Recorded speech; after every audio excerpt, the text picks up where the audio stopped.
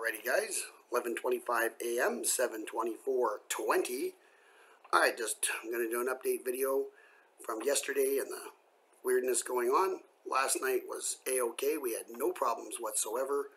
Everything was quiet, there was no weirdness. Um, so I don't know, two nights of craziness and last night nothing. Go figure.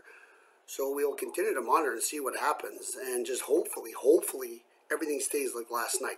So we will update as necessary and y'all have a good one.